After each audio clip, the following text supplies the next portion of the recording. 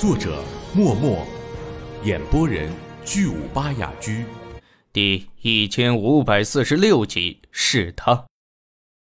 杨开落了下来，冲许冰白淡淡颔首，感激道：“多谢许兄解围了，这个人情我记下了。”小事，杨兄不用在意。许冰白洒脱一笑。就在此时，一阵哗然之声传来：“我的天，洛海大人来了！”这里的动静果然惊动了洛海大人，毕竟他可是翠微星的星主啊！好多虚王境，那不是剑盟的雷前辈吗？快看，那是我们紫星的李婉宁，李前辈。这是恒罗商会的鸠老，七八位虚王境强者都被人给认了出来。毕竟他们不像吴道那样神龙见首不见尾，他们虽然也深居简出，但偶尔还是会露面的，在整个星域中都有莫大的威名。这些虚王境从遥远的天际边而来，以洛海为首，其余人紧随其后。眨眼间便来到了众人中间，一种无形的力量从这些人身上弥漫出来，所有靠近的人都不由自主地往后退出一大截，他们身边方圆三十丈处自动地形成了一片真空地带。这一次血域开启，果然是有虚王境诞生。看这人的架势，显然已经触碰到了领域的门槛了。若是运气好的话，必能晋升啊！恒罗商会的鸠老啧啧有声，鹰隼般的目光透过那层层叠嶂般的天地灵气，直视钱通所在的位置，狐疑道：“这人，老夫以前倒是没有见过，也不知道他出身哪个势力。”紫星的美妇李婉宁咯咯一笑。鸠老，你是不是想拉拢人家啊？想的话就明说嘛，何必这么藏藏掖掖的？老夫哪有藏掖着什么？你们不都是这个心思？鸠老轻哼一声，其他人都笑而不语。显然，鸠老说的没错。这人必定是要拉拢的。不过老身对那神奇的小子也挺感兴趣的，洛海大人，那小子如今在哪里？是不是也在此地呀？剑盟的老妪杵着拐杖，一边询问，一边笑吟吟地打量四周。但凡发现有反虚两层境的武者，便注视上一会儿。洛海神色闪烁了一下，倒也没有隐瞒的意思，颔首道。确实在此。至于到底是谁，我想以诸位的神念，想要查探出来，并不困难吧？洛海大人既然这么说，那我等便献丑了。有一壮汉嘿嘿一笑，庞大的神念立刻弥漫出去，其他人同样如此。霎时间。七八道属于虚妄境强者的神念，层层叠叠的将所有的武者都包裹起来，让每个人都震惊胆寒，不知道这些高人到底想要干什么。是他！那鸠老忽然低喝一声，目光定格在杨开身上，阴翳的眸子里绽放出了熠熠的神光。紧随他之后，所有人都注意到了杨开的存在。毕竟，在千余人里，反虚两层境的数量并不多，而在这些反虚两层境当中，就属杨开的一身圣元最为雄浑凝练，体内的生机和气血也最是澎湃。小子果然不错，瞧他这圣元的凝练程度，是一般反虚三层境的两倍以上啊！怪不得能在血域里杀个来回。九老满意微笑，轻轻颔首。老身倒是很奇怪，他到底修炼了什么淬体功法？他的肉身看上去很强大的样子。雷姓老妪眼中闪过了一丝狐疑。这小子不得了啊！站在这里评价他做什么？过去跟他聊聊就是了。你们还怕他吃了你们啊？美妇李婉宁抿嘴一笑，扭动腰肢，漫步朝杨开走去，美眸一瞬不移地盯着杨开的面孔。杨开顿时皱眉。这几位虚王境强者一起驾临此地，杨开愕然了好久。他以为是钱通晋升的动静把他们吸引了过来，一颗心七上八下的，不知道他们到底想干什么。虚王境强者每一个都实力彪悍，这一下子来了七八位，任谁都会惴惴不安。正提心吊胆呢。却见那其中的美妇居然朝自己走了过来，而且还盯着自己不放，这让杨开顿时迷茫了。紧随在美妇身后，其他人也都望着自己，信步而来。他们想干什么？杨开一身圣元不由自主地运转起来，神色警惕万分。以他现在的实力，虚王境之下堪称无敌。但是面对虚王境，他恐怕只有逃跑的份儿，一个不好就会被一招秒杀。虚王境和反虚境之间的差距太大了，要不然整个星域也不会有那么多武者被困在反虚三层境一辈子，要不然星域中的虚王境也不会数量稀少。杨兄别紧张，许冰白的声音忽然在身边响起。他似乎是瞧出了杨开的警惕，呵呵一笑，道：“哼，他们对你应该是没有恶意的。”此话怎讲？杨开低声询问。“嗯，每一次雪域试炼之后，各大势力的虚王境强者都会拉拢一些出色的武者，这一次自然也不例外。我想他们大概是看上你了吧，是要来拉拢你的。”并非要对你不利，拉拢我。杨开皱眉，从雪域里出来的可不止我一个，为何一下子就找上我了？许冰白灿然一笑，这自然是因为杨兄你在雪域里的表现无懈可击的缘故。说实话，徐某对你有很大的压力啊。我的表现？我在雪域里是什么表现？他们如何得知？杨开脸色一沉，他们大概不清楚，但是翠微星的洛海前辈却能感应到一些情况。他可是翠微星的星主啊！许冰白解释道。杨开脸色一变，陡然间意识到不妙。身为星主，确实可以随意的感知被炼化星辰本源的修炼之星上的风吹草动。但这也极其消耗心神精力，没有哪个星主会无聊到这种程度，随意去窥探什么。有这些时间和精力，他们还不如好好修炼。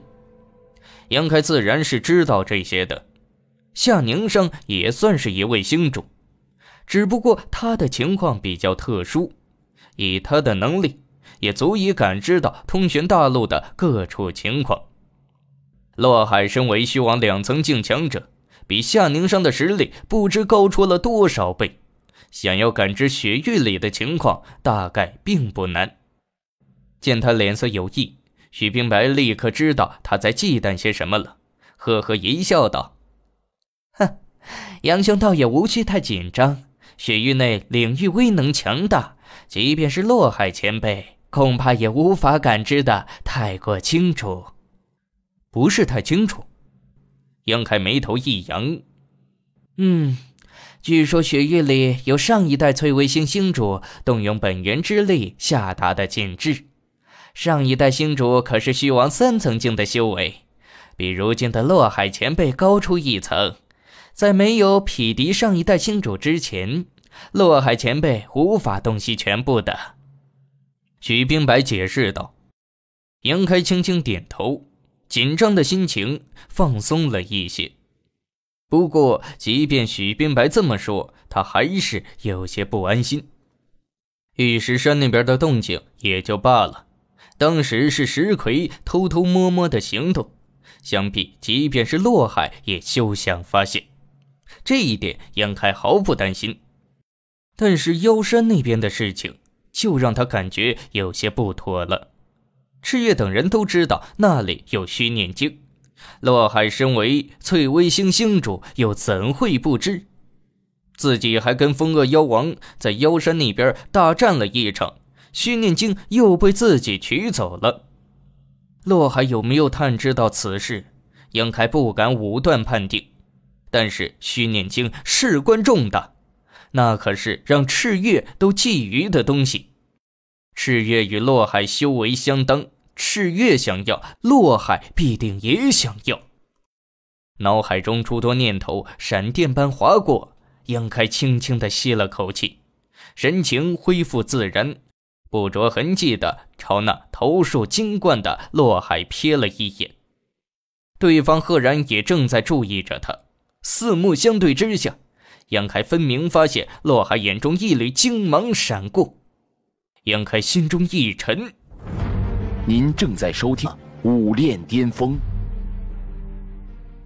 咦，你这小家伙跟吴道大人什么关系？那美妇走到杨开面前，正想问他几句什么的时候，忽然看到了站在杨开身边的许冰白，美眸在他胸口处的三瓣花图案上扫过，讶然的询问道：“那是家师？”许冰白不卑不亢的答道：“吴道大人是你师傅。”李婉宁不禁用手掩住了小嘴，一脸震惊之色：“什么？这小家伙是吴道大人的弟子？”紧随而来的诸多虚王境都惊呼起来，仿佛发现了什么不得了的东西，感兴趣的打量起许冰白。就连众人中修为最强。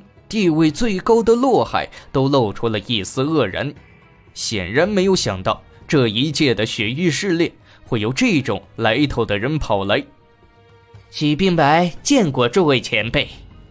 许冰白虽然是无道的弟子，可毕竟是个小辈，面对这么多虚王境，倒也不敢托大，恭恭敬敬的行礼。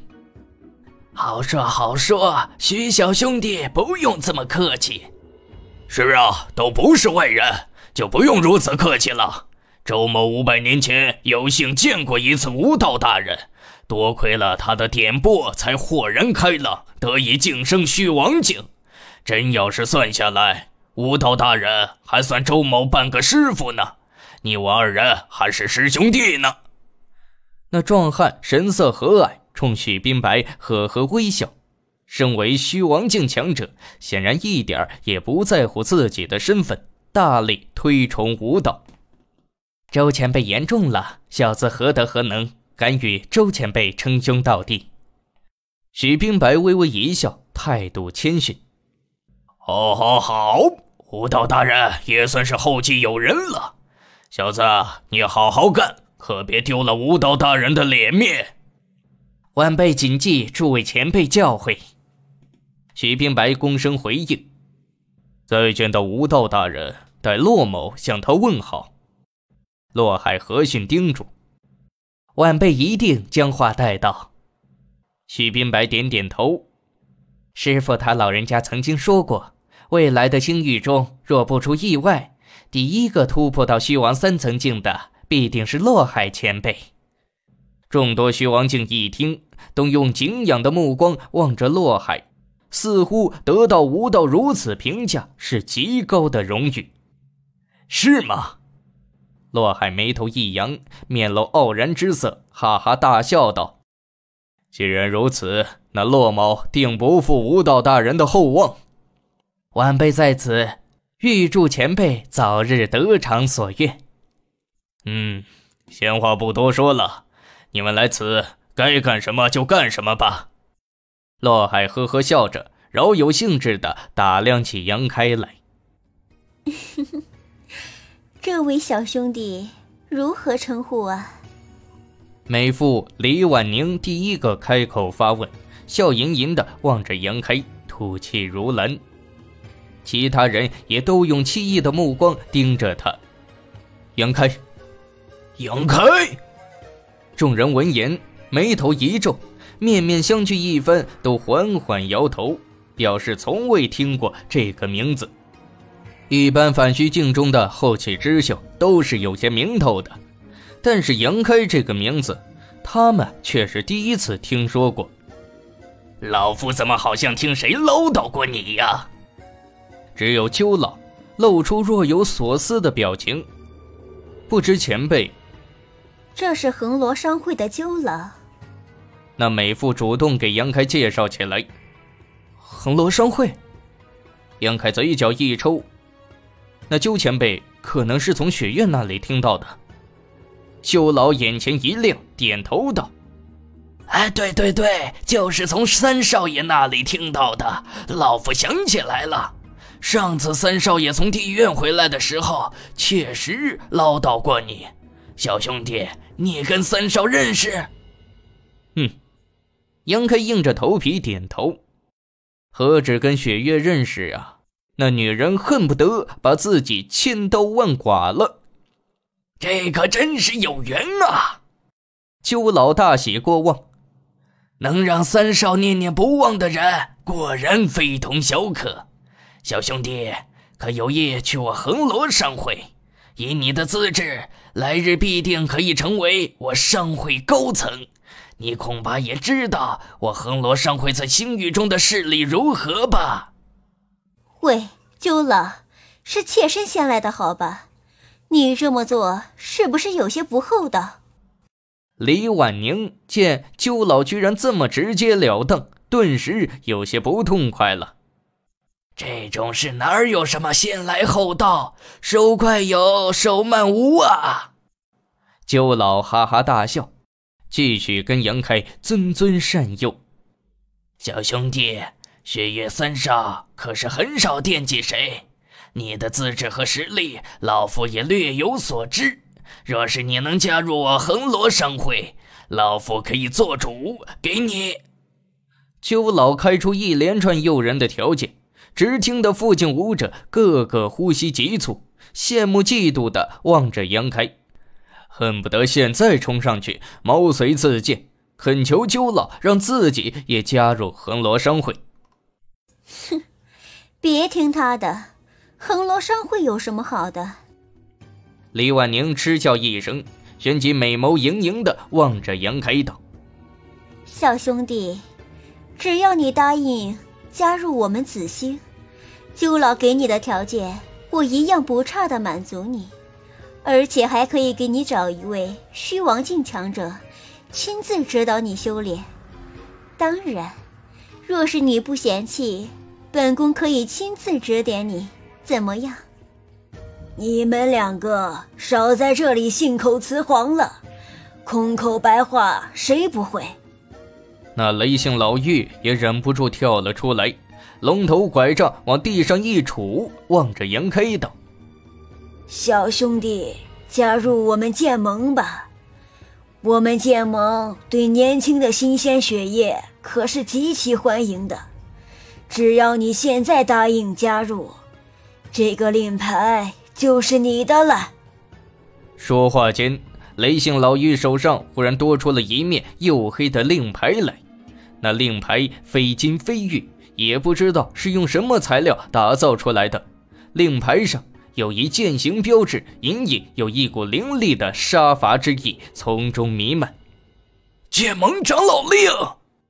有识货之人倒吸一口凉气，望着那令牌的目光变得灼热至极。不是吧？这就是剑盟长老令？反虚两层境就能成为剑盟长老了？雷前辈果然好气魄呀！整个剑盟似乎也只有十大长老而已，每一个都是顶天的人物。有这长老令的话，可以调动整个剑盟很大一部分人的人力、财力、物力了。以后的修炼根本不用发愁了。这小子到底有什么好的？怎么这么多强者争相拉拢？周围的武者羡慕者有之，妒忌者有之，迷茫者亦有之。所有人都不明白，为什么这些虚王境强者放着如此多的反虚三层境不拉拢，偏偏去极力邀请一个反虚两层境。没人比他差吧？众人心中愤愤不平，涌起了一股不服输的念头。三大势力各自开出价码，其他虚王境强者也不甘寂寞，一个接一个的拉拢杨开，每一个人的表情都诚恳至极。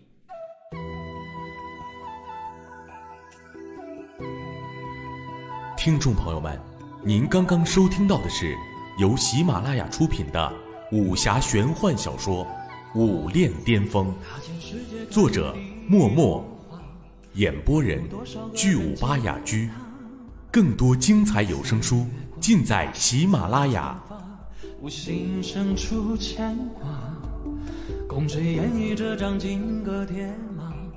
谁祝福真又算得到？